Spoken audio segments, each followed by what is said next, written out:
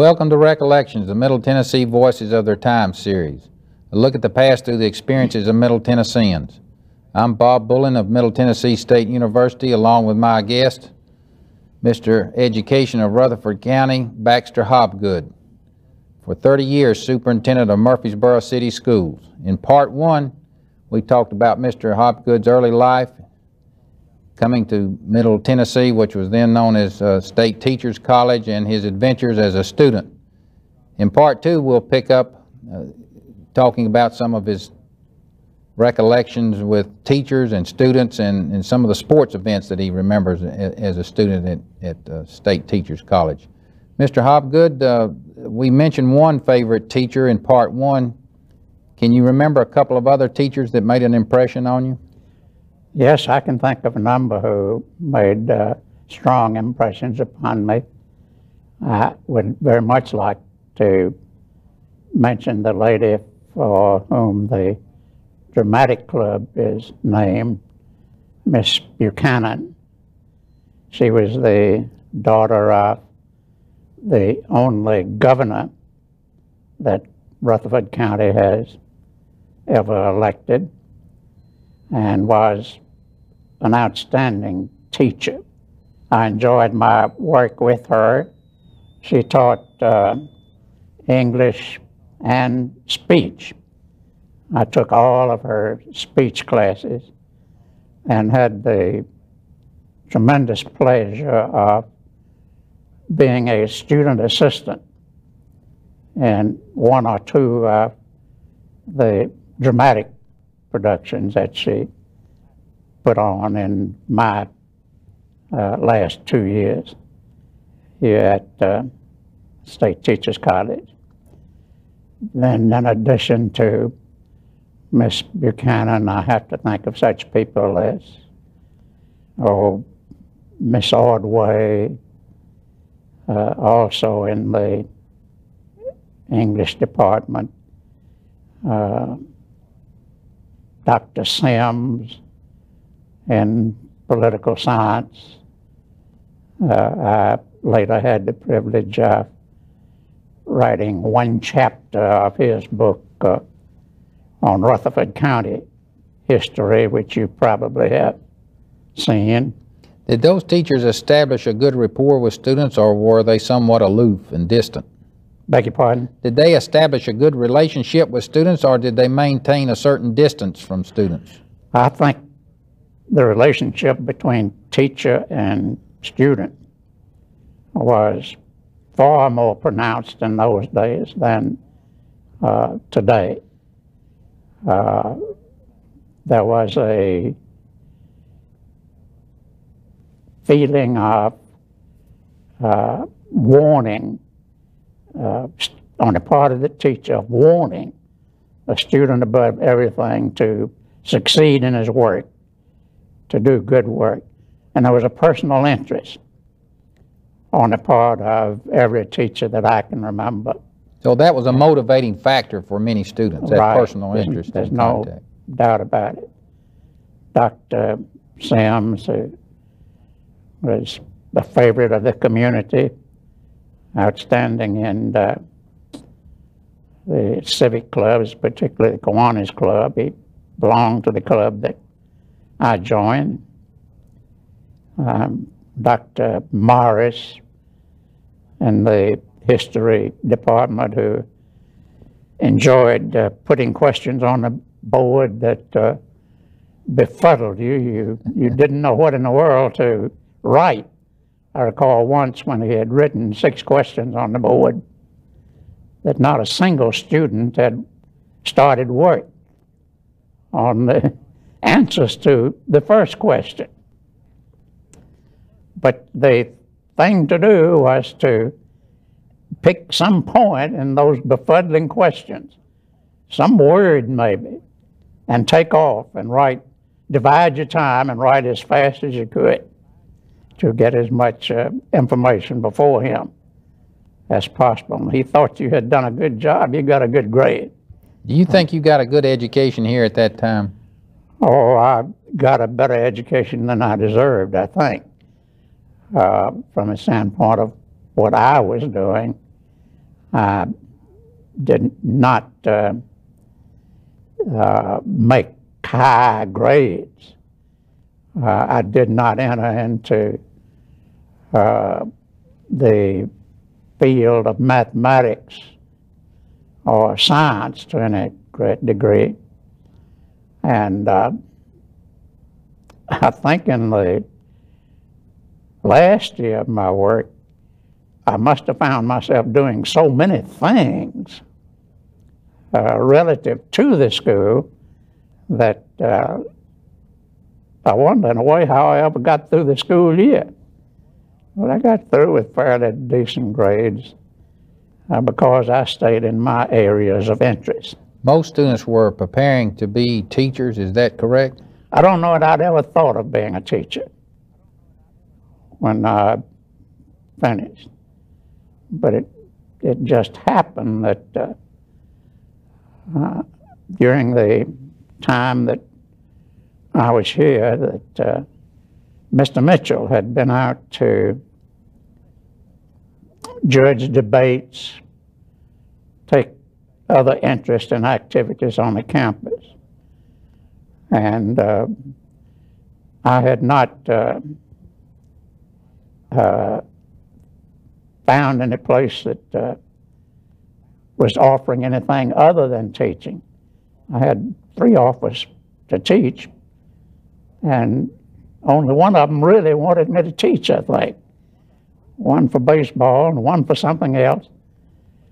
But um, one afternoon, I came back to campus, and Mr. Lyon was in the hallway and said, uh, Mitchell wants to see you. And I said, Mitchell? He said, yeah, John Charlie Mitchell, superintendent of Murfreesboro City Schools. So I went in and talked to Mr. Mitchell, and on the spot, he offered me a teaching job. And on the spot, I accepted the teaching job. And that was a crucial moment for you because that's what kept you in Murfreesboro the rest of your life. That's right. That From that moment on, I was fixed in Murfreesboro. Well, before you we get you to work, uh, we need to reflect on a few sports figures and events since you were uh, closely associated with these people and would like to recall their contributions. The school had a good girls basketball team along around 26 or 27, and they were invited to a, a special tournament in yes, Des Moines, often, Iowa. oftentimes you hear it stated out here that no national championship has ever been won. I question that a little bit. I think I suggested to you once that the search, research department do a little work on it. If I'm not mistaken, 1927, 28, uh, State Teachers College girls basketball team was invited to Des Moines, Iowa, because it had been decided in Tennessee that as far as colleges and universities were, were concerned, the team here was the best team in Tennessee. That's the only way they played tournaments. In those days, it didn't have the uh, classifications that you have today. And our team went to Des Moines, and if I'm not mistaken, they won the national championship. It, it could be that they came in second, but as I recall, they won the championship. Who was the star player on that team? The star player offensively, particularly, was Dean Beasley's sister, Mary Beasley. Had a uncanny ability to stop on a dime and turn the ball loose and hit the bottom of the net. Who else on that team do you remember? Emma D. Dillon uh, as a defensive player who is presently located in a place I believe they call Bourbonnais, Texas. Uh, she went out there soon after she finished her college career, and uh, some fellow had got tired of operating his big ranch. So she's still alive, you Oh, she's still alive. They heard from her uh, over in the uh, Alumni Center this week, last week.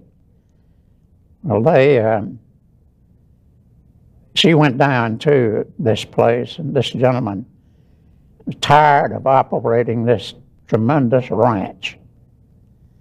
And he met Emma D. He wanted to move away from it completely. He met uh, Miss Dillon and uh, offered her the job of managing this ranch.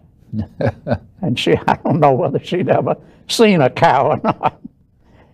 Uh, but at any rate, she accepted. And as far as I know, she's there right now.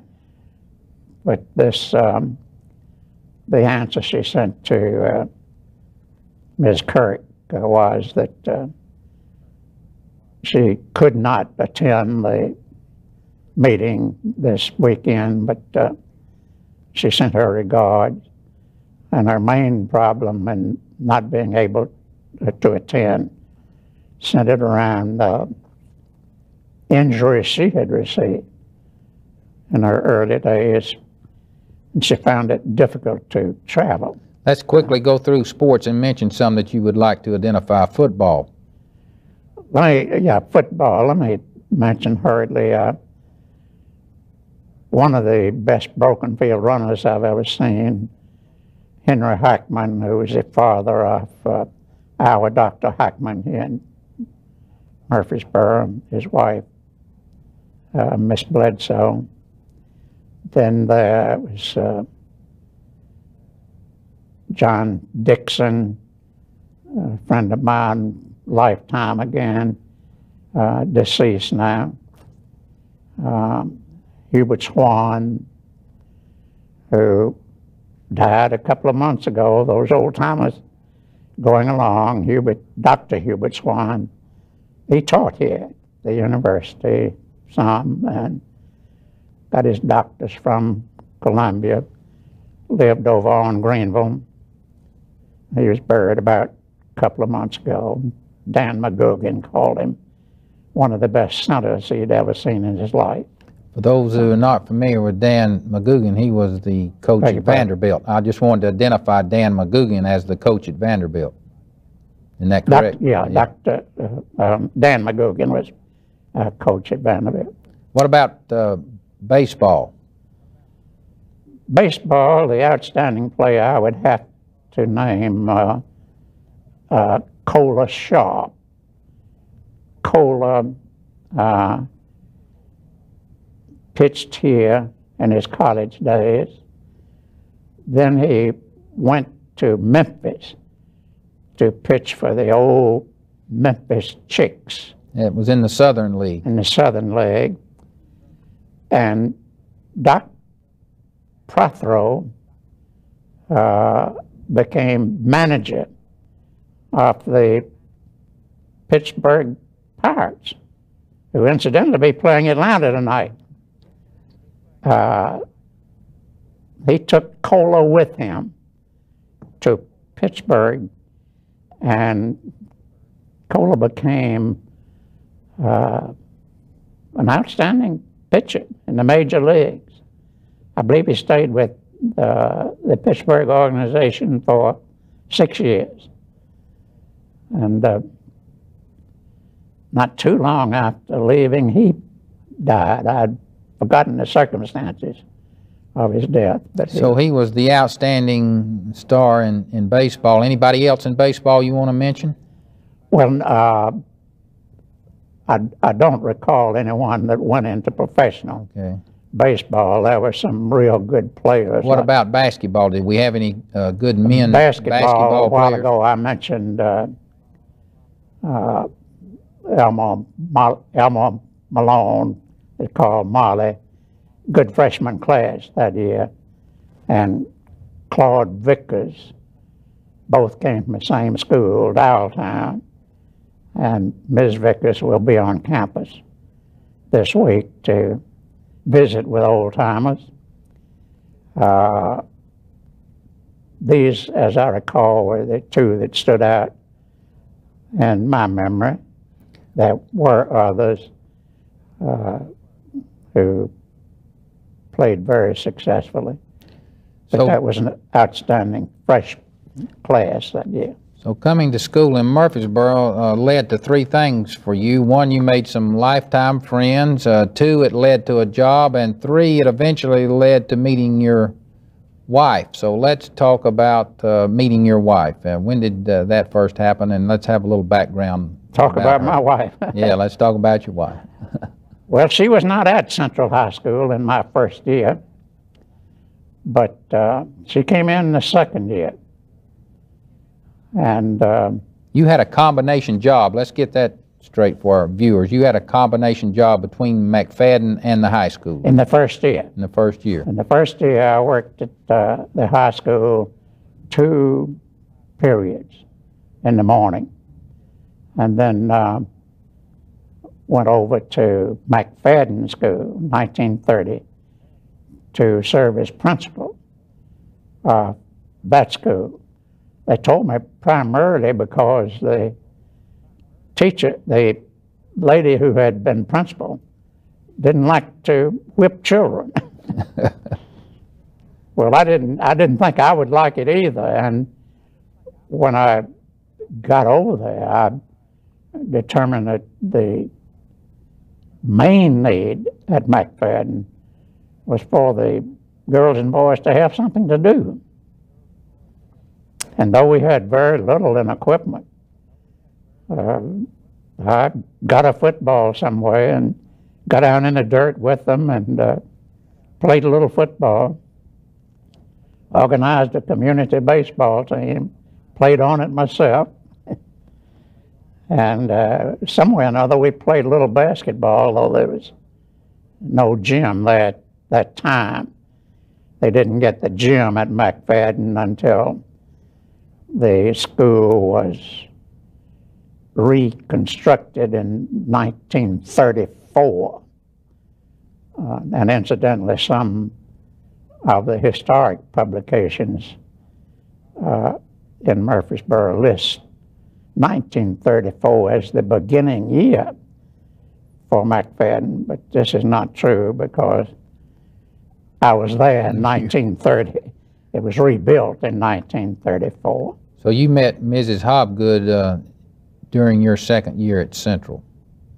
I met her through the secondary work year at, uh, in my second year. As I say, she was not there during that first year. She was teaching in Clarksville. Yeah, she was a graduate of a of a woman's uh, college here that's located over where Central Middle School is located now. What was the name of that school where your wife went to college? Central Middle, S- The, wo- the woman's uh, Tennessee College. yeah Tennessee, Tennessee- College for Women. Is that- Tennessee College yeah. for Women. Well, she she uh, received some very uh, strict training there, I understand, and uh, they had high standards for those young ladies. Oh, yeah. The uh, Tennessee College for Women was a Baptist school. And uh, they had uh, some students who became outstanding in their work. They were very, very strict. I don't know whether you're trying to get me to get around and tell the story of uh, how there was a man who lived right across the street. Yeah, I want you to tell that story about they had to walk to town in pairs, Yeah. had to wear gloves. Uh, give me a little background on that. There was a man who lived right across the street from um, Tennessee College who made their pictures and had other associations with the leaders of the college. His name was Lively. But the Tennessee College girls had been instructed that they were never, ever to accept a ride to town or from town with anyone. They could not go alone. There had to be at least two uh, going at the same time, more if possible. Uh, they could not accept a ride with anyone. But one day, Mr. Lively is going to town and uh, he sees some of the, a couple of the girls walking toward town and he drives up beside them and offers them a ride. No, I'm sorry, we can't ride, they responded. Again, he offered, no, we can't ride. And he said, oh, come on, it's all right. Uh, I'm lively. And one of the girls said, well, we are too, but we still can't ride. I like that story. Uh, Now, tell me uh, what captured your fancy uh, about your wife. You you got married shortly thereafter, I think, so she must have uh, uh, well, we married captured your imagination. We married in 1933. I, I uh, have always insisted and, and told her that during my um, first year there with her in 1932, she didn't pay a bit of attention to me. But um, one day, uh, Mr. Mitchell asked me to make a talk in uh, chapel and somehow or another I pronounced some words in Latin correctly. And uh, her opinion about me started to change all of a sudden. and I was able to get a date with her. And from that point on, things moved pretty swiftly. In 1933, we were married. Well, that's a good story about you getting married, uh, and and uh, the preacher that came to town and married you had an interesting background. So let's talk about that event. Yes, uh, this was Dr. Carter Helm Jones, and uh, colorful, interesting preacher. 1930, uh, then, and this was before I had met my wife. Uh, he retired from uh, the First Baptist Church in Seattle and was he was in uh, not what was known as the Southern Baptist Association, but the American Baptist Association. And he left Seattle, was on his way to his beloved Virginia, uh, somewhere close to Lynchburg, and found himself in James K. Polk Hotel here in Murfreesboro on his trip. And uh, it happened that during the week, almost, uh, the First Baptist Church here had lost its pastor, a fellow by the name of Dr. McConnell, who was very much interested in baseball. And when an offer came for him to accept a church in Florida, close to the baseball training grounds where they train every spring, he accepted it almost overnight. We'd been very fond of uh, Dr. McConnell because uh, he liked to come out here and put on a mask, and breast protector, and shin guards, and, and join the varsity or any pickup team that was organized to scrimmage the varsity. He liked to join them, and we liked him and went to the Baptist church to hear him. But on this Sunday, when four or five hours went, he wasn't there. And this man uh, walks out uh, with his uh, long tail coat and uh, gray pants. One of us looked at the other and said, uh, Oh, one of those. but uh, as this man preached, we began to change our tune because the sermon he preached was tremendous. It was just something.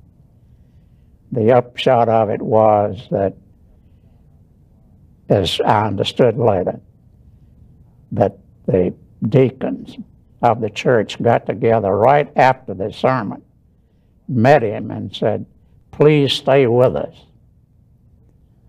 And they said, Well, maybe we can get our furniture stop. It's on the way to Lynchburg.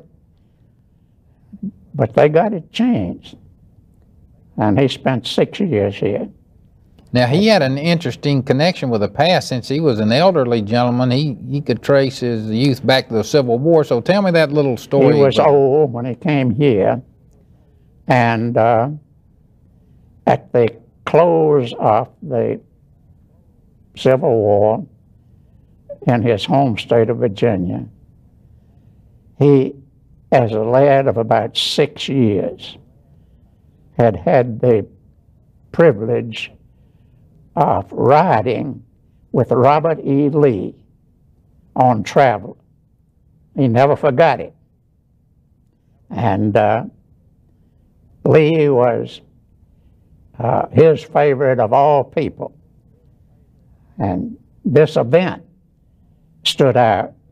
And there's a story told on page 44 of a biography written by head of the history department at Morehead, Kentucky, page 44, that lists the story of how uh, this Carter Helm Jones saw Robert E. Lee sitting on the stage in his first year after leaving the war with his legs crossed. And Helm Jones runs up to the stage and sets himself down between the legs of Robert E. Lee. And when time came for uh, Robert E. Lee to pass out the degrees for the students there at Washington University, which was to become, as you know, Washington, Washington and Lee. Lee. Uh, he wouldn't even let them wake the boy up. He didn't get up to pass out the degree and wouldn't let them wake the boy up. He uh, sat, they made someone hand him the degrees and had the graduates marched by him and the boy. And he'd hand them their degrees as they went by and shook hands with him. And uh, he loved to tell the story of his associations with Robert E. Lee, and he was back to on his way to Virginia to be somewhere near uh, Appomattox and uh, General Lee headquarters. Well, that's an interesting story in connection with history. Uh, let's talk about another uh, event in your life. Tell me about actually getting married, and that was an interesting Well, story. You nine- seem to always have things happen to you that are very close to the campus. Oh, I've always been on this campus. The, uh, for some reason, it uh, was established that uh, July the 5th, 1933 would be uh, most convenient time for us to have our marriage. Uh, an uncle had, of my wife had expressed a desire to see the wedding. He was sick, couldn't leave his room at his home. And he'd expressed a desire to see the wedding. So all of us talking with uh, her uncle's wife and the uncle, my uh, wife's mother, and others, my best man, Dr. Carter, and Dr. Car- Carter Jones. We all found, all found that it would be convenient to meet July the 5th and have the ceremony on that date. So Dr. Carter Helm Jones uh, came out and performed the ceremony in the presence of this uncle of my wife's. And uh, we took off from there on our honeymoon trip. But uh, we had more good years with uh, Dr. Carter three more, and um, enjoyed our association with You him. spent your honeymoon in, in Warren County at the Sudbury Inn, is that right? Beg your pardon? You spent your honeymoon in McMinnville, I believe, at the Sudbury Inn? No, we went by McMinnville to have uh, something to eat. And uh, we stopped at uh, the famous Sudbury Inn, where, many people went in those days for something to eat. I guess we ate a fairly good meal, I don't recall. That's exactly, but went on then to Asheville and spent a little while, went by the famous Biltmore house and uh, on uh, to my hometown for a while, then to visit with a cousin in um, Newport News, Virginia. They wanted us to spend some time with him. So that was really a good honeymoon trip. That was pretty fair honeymoon, all in all. Well, when you got back to work, you had to face the reality of dealing with children every day. Give me some description of what life was like uh, teaching in Murfreesboro in the 1930s. What, what were those days like? 1934 on for the rest of uh, my period of teaching in the old Central High School uh, building. Uh, I learned, first of all, one of the reasons why Mr. Mitchell had wanted me to uh, come to his program. He had uh, he had known that he was going to lose uh, one of his top men. That was a Mr. Brun, Doc, Mr. Bruner, who became head of the history department at TPI um, soon after I started work at Central High School. And in addition to being the history teacher at Central High School, Mr. Bruner had coached the debate teams. And I was given that job. Soon after that period, uh, the uh, job of coaching girls basketball team fell on my shoulders. And I had a number of activities uh, in addition to teaching uh, history. Uh, I enjoyed the teaching of the history. I don't know just how well I taught it, and sometimes I guess I taught it under circumstances that were uh, different from um, uh, the way other people proceeded. I, I recall one year, instead of opening the textbook and starting at uh, what would be a chronological order of American history, we went back and picked up the Constitution and started with the Bill of Rights and tried to spread American history at both ends then, early American history and later American history, with the Bill of Rights as a Senate. And of course, our interpretation of the Bill of Rights was much different from some interpretations you're getting today. But you were a coach who was serious about what went on in the classroom.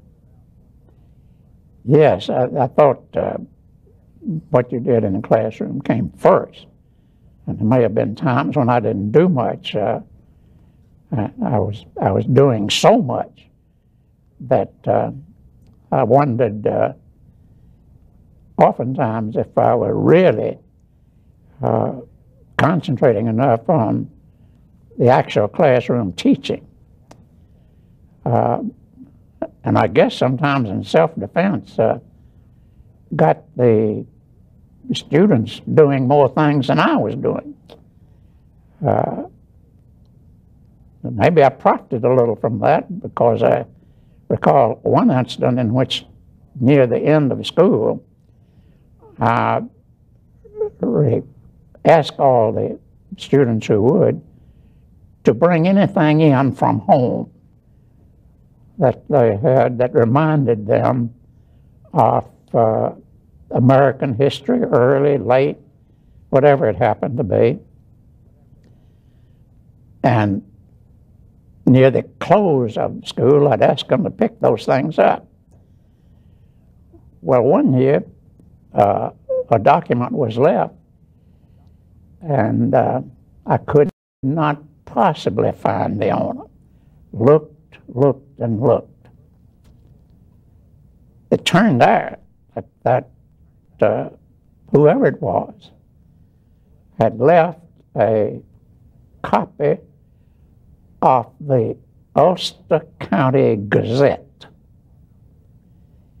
The Ulster County Gazette was printed in Baltimore and announced the death, the funeral arrangement, the funeral procession of George Washington. I was told later that it was possible that that document was one of four that were known to be somewhere in the United States. What happened to that document? That document is in the history room at Cannonsburgh Village. A good place. That's a good right place. now, and I have a little note on it that it is on loan from me. And incidentally, a man came by from up uh, somewhere in a Midwestern state, apparently a history buff, and talked to Fred, the caretaker, uh, out at Cannonsburgh. The, and the history room was not open at the time. But this man wanted to see the history room, the area where Dr. Homer Pittard had fixed up uh, scene of uh, the battlefield and the other things that were in the room. He went in and saw Dr. Pittard's display and started looking around the room and came upon this uh, newspaper that's in a case there. And uh, he turned to Fred and said, Who is this Hobgood guy? and uh, Fred told him. He said, Well, I wish I had time to see him, but you see him and tell him that when he takes this document out of here, be very, very careful the way he handles it. Because I'm almost certain that it's one of the four original documents that are known to be somewhere in the United States at the present time. And he based his, Fred said he based his conclusion on the fact that uh, he had observed that the part of the S's, alphabet S, were pictured almost like they were an F. And he said, This is not proof for me. I'm almost convinced that this is one of four of those documents. Well, hopefully the community will realize what they have. You had a reputation as being calm, cool-headed as a coach, rarely losing your temper, but there was a game uh, with Buchanan that was that ended in such an outrageous manner that you did lose your temper in that one. Could you recall that one? This had to do with uh, your Yes, times we- as a girls basketball coach. We laugh about that sometimes uh, now. Uh, this was a year after the girl uh, who played out at Buchanan uh, had uh, beaten everybody. And this Eileen Banks Pate. And to this day, I happen to think she was the best girl basketball player ever produced in the United States. I, I just think she stands out as the number one girl basketball player of all time. She went on and played for the business school in Nashville and played against the Russians. Is that correct? She she played against the international girls team from Russia and played in the not the Murphy gym, but the one The alumni gym. the alumni gym here on campus. The Russian girls team got in that night and they had uh, failed to shave under their arms, failed to shave, and they were six, six and a half feet all except one of them. And one of them was a beautiful blonde who was a good basketball player. And she and Alline scored about the same number of points that night. Alline scored about 34, and this Russian girl scored about 34. Uh, but of course, those big uh, girls could reach up defensively and just take the ball off and throw it down the court. This was about 49 or 50, somewhere along there, wasn't Yeah. it? And there was some question in your mind if those Russian women were really women.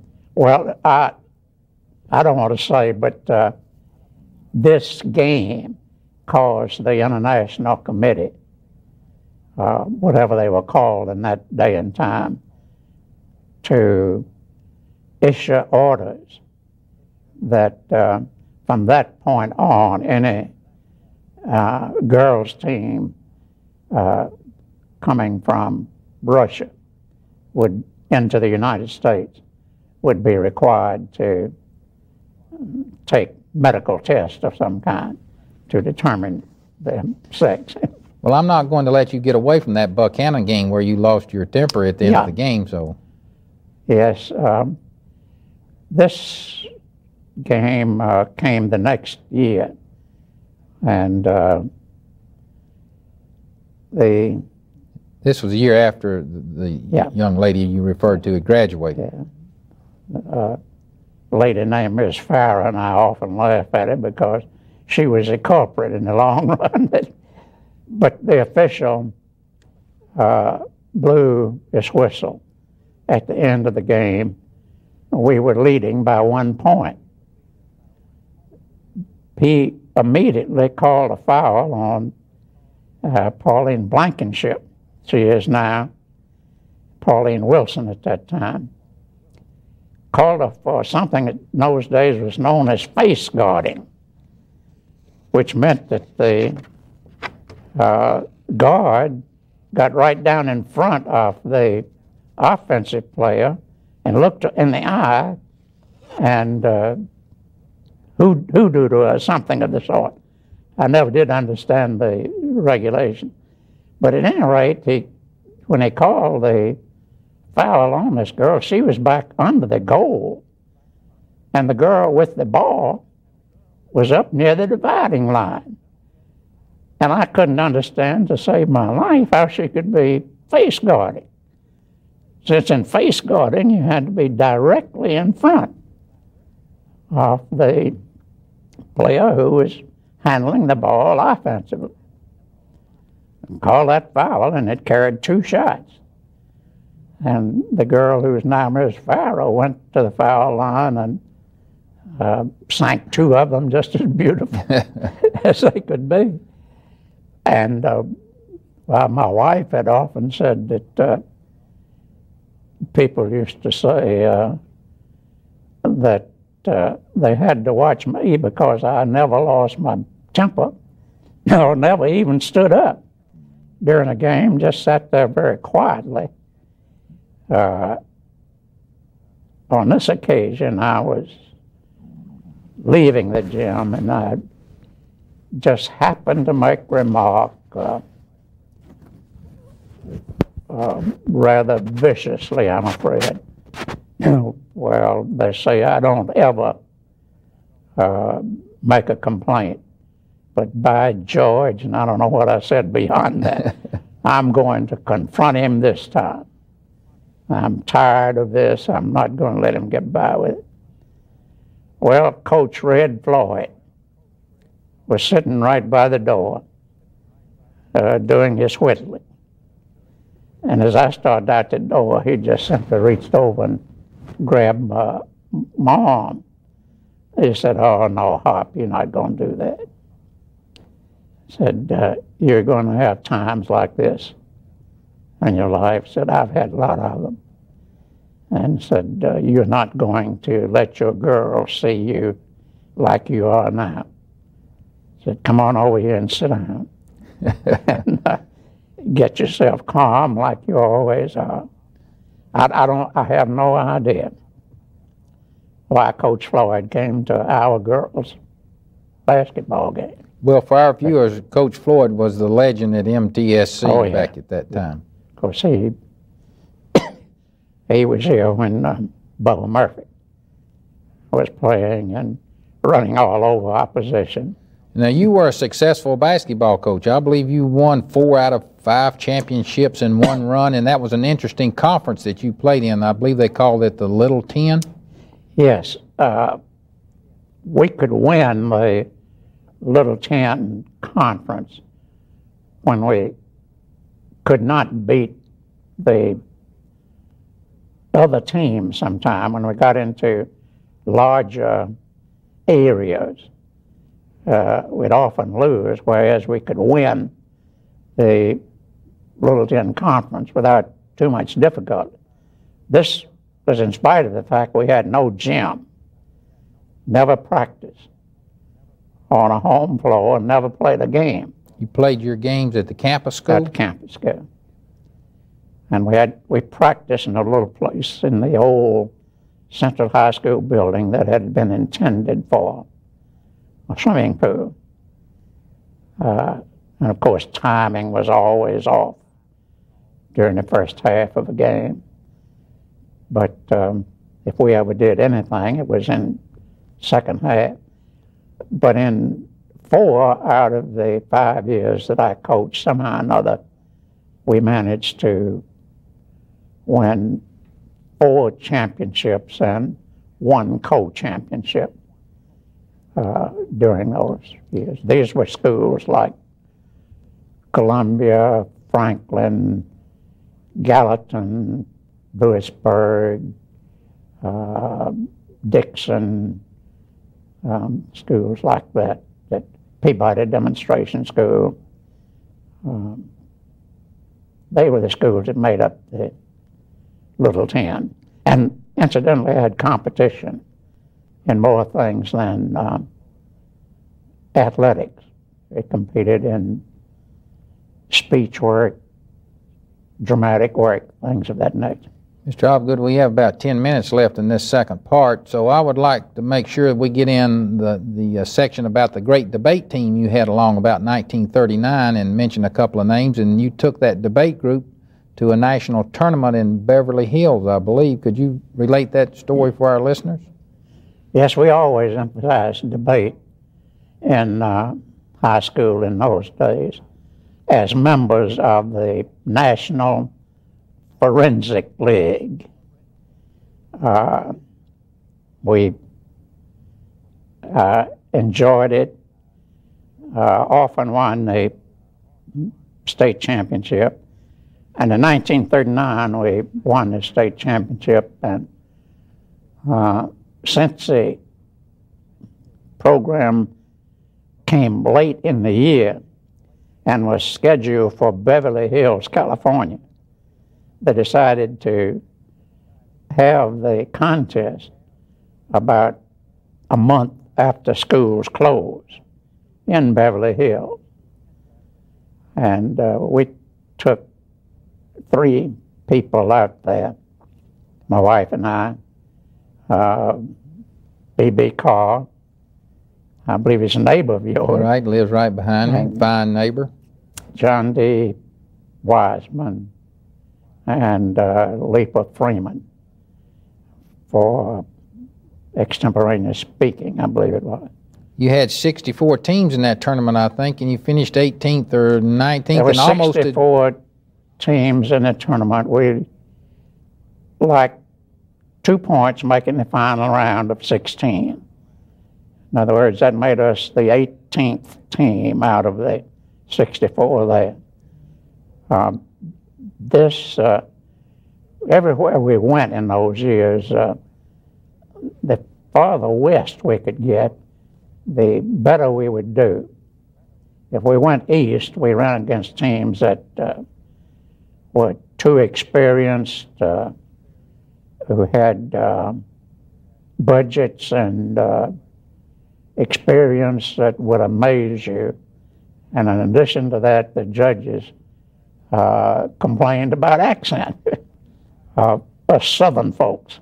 Why is it we don't have debating today like like they did in another era? I What don't happened? know. I'm sure the National Forensic League is still operating in some form, but I never hear anything about uh, debate participation. Uh, the old time uh, debating activities.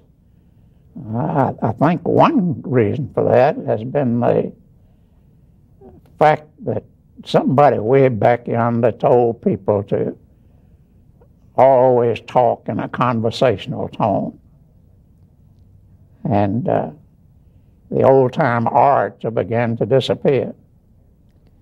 Might, might say that uh, Governor Clement grew up in this National Forensic League type of conversation.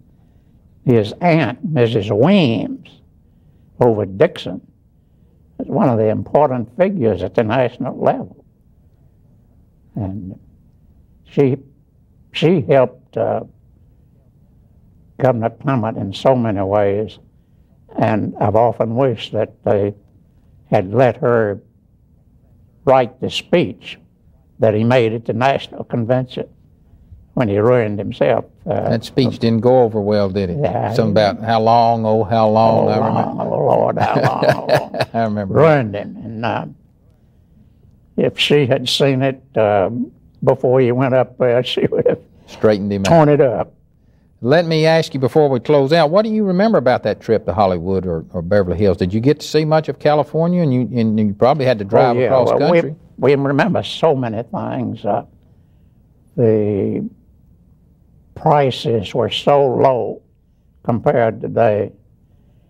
For one dollar, you could go places and eat a sumptuous meal, not hot dog and uh, uh, hamburgers, but meals served in special courses one dollar each, all you wanted to eat, and some to take home with you if you wanted.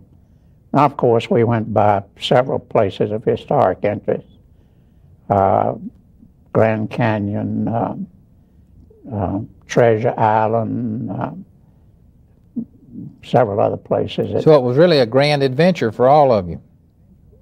enjoyed it very much. I want I wanted to say something uh, about people here at the university Okay. who, in later times, have assisted us so much in our program, and is a further indication of uh, the cooperation between community and uh, and the university. I, I think back to the student-teacher program uh, that was of so much help to us. It got many teachers out of this program. And uh, people like uh, um, Dr. White, uh, Dr. Kim, Dr. Pocott, Dr. Mary Tom Berry, who lives here now. I guess all of those people live here, don't they? Well, one of them's passed away. Dr. Pocott They passed away. We'll get a chance to talk about that some more if you'll agree to another hour later on. We'll get into the, your career as a superintendent. We've only gotten you up to about World War Two, so I think we have just time to uh, comment. Where were you on uh, Pearl Harbor Day? You remember that? Pearl Harbor Day. I was uh,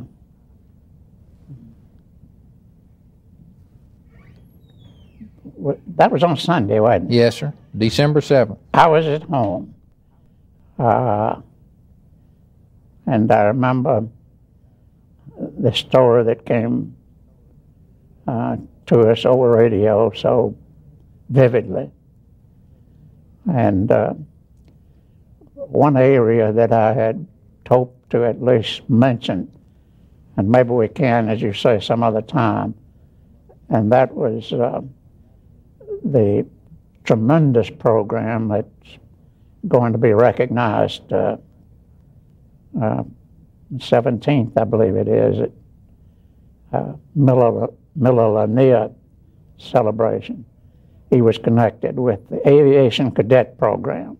Yes, sir. We'll get to that. I believe we'll, if you'll agree to another hour later on, we'll get to that. But I, I want you to remember the impact on Murfreesboro with the start of World War II, and, and how did the students at the high school react to the start of the war?